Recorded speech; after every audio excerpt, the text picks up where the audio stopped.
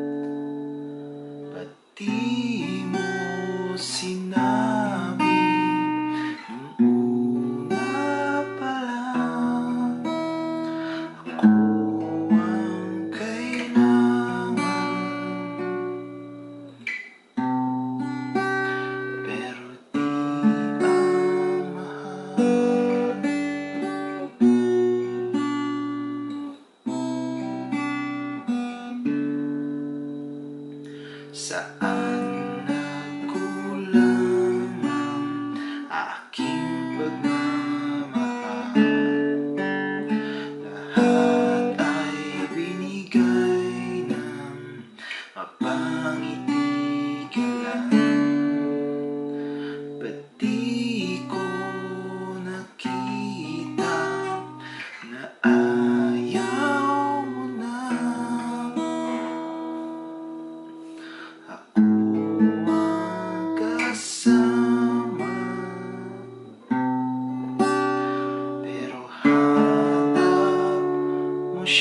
Balik intro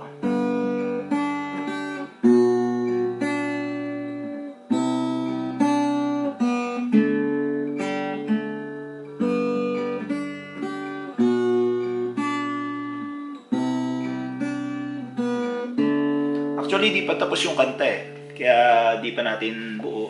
Kasi di pa nila buo. Ah, ito lang yung chords na narinig ko na tingin ko eh, tama naman.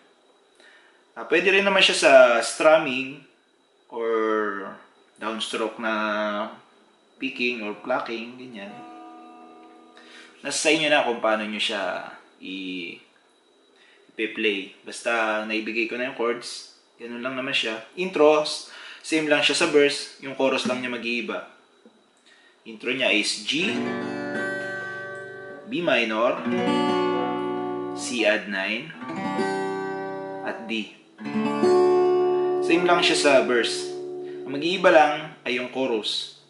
C add 9, but di mo C minor, sinabi B minor nung una.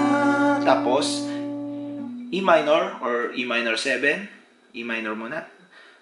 Una pa lang.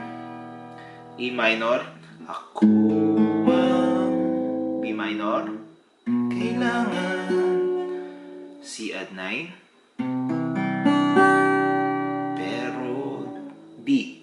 D ang mahal. Tapos intro na.